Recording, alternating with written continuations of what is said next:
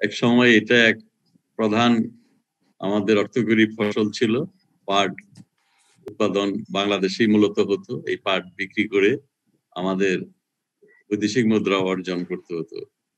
কিন্তু সম্প্রতি আমরা দেখছি, সারা পৃথিবীতে একটা চেতনা চেতনা জাগ্রত হয়েছে যে কৃত্রিম হাঁস আমাদের ব্যবহার করা যাবে না, এগুলো পরিবেশকে নষ্ট করে, দূষণ করে, বরং পাট এটা প্রাকৃতিক এবং এটা সহজেই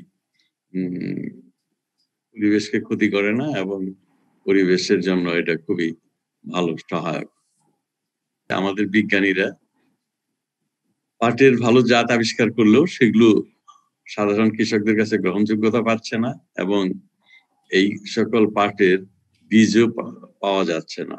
বিজ্ঞানীরা যেগুলো জাত আবিষ্কার করেছে, সেগুলোর সাথে আমাদের চাষিরা, কৃষকরা অতটা বেশি পরিচিত না এবং তারা এটা আবাদে আগ্রহ না, বরং ভারত থেকে কিছু বীজ আসছে এবং এই ভারতের জাতগুলোর উৎপাদনশীলতা মোটামুটি ভালো এবং চাষিরা সেটাই করতে চায়। আমাদের যে এক্সিস্টিং ফ্যাসিলিটিস আছে এবং এক্সিস্টিং যে কর্মসূচি আছে, সেই কর্মসূচির আওতায়ও আমার মনে হয় যে আমরা অগ্রসর হলে কর্মসূচি নিলে কিছুটা হলেও আগামী আর একটা প্রজেক্ট আসা পর্যন্ত আমাদের অগ্রগতি আরও বেশি করা সম্ভব। এই বীজ পরিমাণ বাড়ানো এবং একটা এক্সিস্টিং ফ্যাসিলিটি কেন্দ্র করে একটা কম্প্রিহেন্সিভ প্রোগ্রাম নিতে হবে। আর একটি হলো যে একটা প্রকল্প নিয়ে আস্তে আস্তে এমন, আমাদের লক্ষ্যমাত্রা থাকবে যে সম্পূর্ণই আমরা স্থানীয়ভাবে পাটের বীজ আমরা উৎপাদন করব। পাটের জন্যই বিখ্যাত এই বেঙ্গল, বাংলাদেশ। সেই বাংলাদেশের পাটের বীজ বিদেশ থেকে আসবে, সেটি হতে পারে না। এই প্রেক্ষিতে আমরা সিদ্ধান্ত নিয়েছি, ইতিমধ্যে এ বিষয়ে মাননীয় প্রধানমন্ত্রী মতামত দিয়েছেন যে পাট বীজ আমাদেরকে স্থানীয়ভাবে করতে হবে।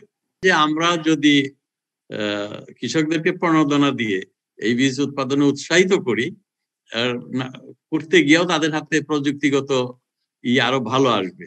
যে প্রযুক্তিগুলো ভালোভাবে ব্যবহার করা শুধু বীজ না, তার সাথে উৎপাদনের যে প্রযুক্তি অ্যাগ্রোনমিক ইটা প্র্যাকটিসটা ফার্মিং প্র্যাকটিস সেটা আরও ইমপ্রুভ হবে।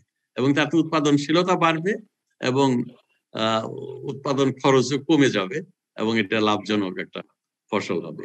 এই করোনা মহামারীর মধ্যে আপনারা সবাই উৎকণ্ঠার মধ্যে রয়েছেন, দুশ্চিন্তায় রয়েছেন, নানান ঝুঁকি নিয়েও কৃষি মন্ত্রণালয়ের বিভিন্ন প্রতিষ্ঠানের কর্মকর্তাদেরকে কাজ করতে হচ্ছে। আমি জানি আপনারা অনেক ঝুঁকি নিয়ে মাঠ কর্মীরা এবং বিভিন্ন প্রতিষ্ঠানের কর্মকর্তারা কাজ করছেন, মাঠে দৌড়াচ্ছেন। এই জন্য আমি আপনাদের সকলকে আন্তরিকভাবে ধন্যবাদ দেই।